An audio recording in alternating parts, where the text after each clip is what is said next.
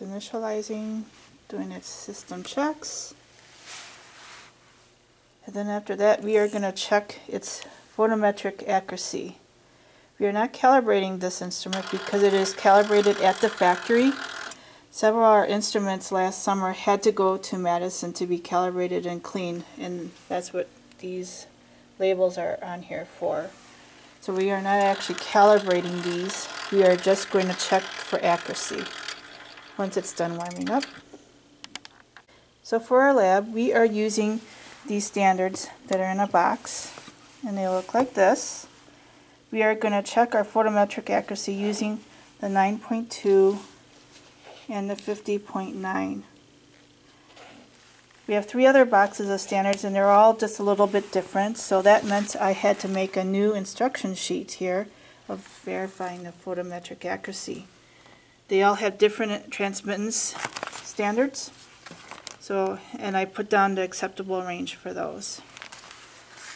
So, first thing we do, set the wavelength to 590 and make sure it's on the percent transmittance, which it is at percent transmittance, and it's at 590. If we need to change it, we just hit the set NM, and then we type in 590, enter, and there it is.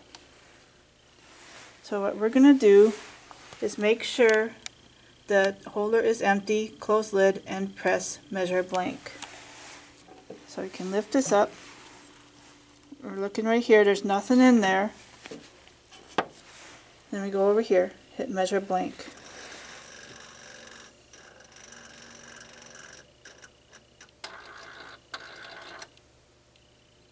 Alright, at 100%.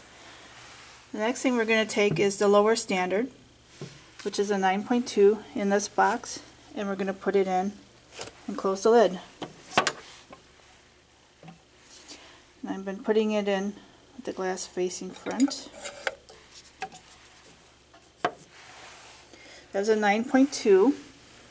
So our value should be between 8.7 and 9.7.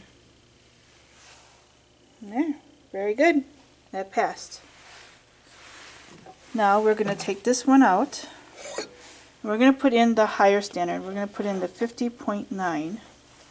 As you see, 50.9% transmittance should be reading between 48.4 and 53.4.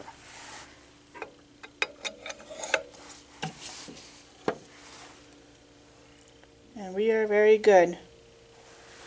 The acceptable ranges we came up with on our own just for our lab it'll probably be a lot tighter where we work in the future.